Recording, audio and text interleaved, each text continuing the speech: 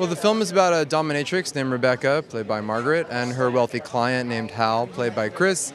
And it's about what happens when, um, upon being considered for uh, succeeding his uh, father as CEO of a large hotel corporation, uh, Hal Chris's character decides that he's going to end his relationship, his professional relationship with Rebecca, his dominatrix, and Rebecca has other ideas.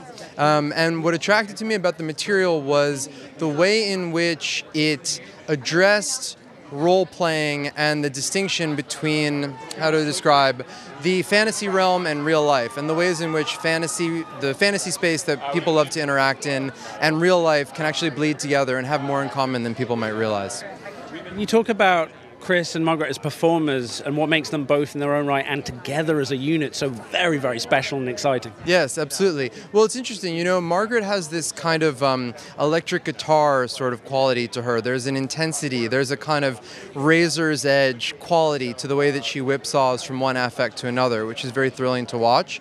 Chris has this amazing ability to sort of play one emotion, but at the same time suggest that there are many, many other conflicting and different emotions roiling deep inside him. This like very um, deep sea of different things going on.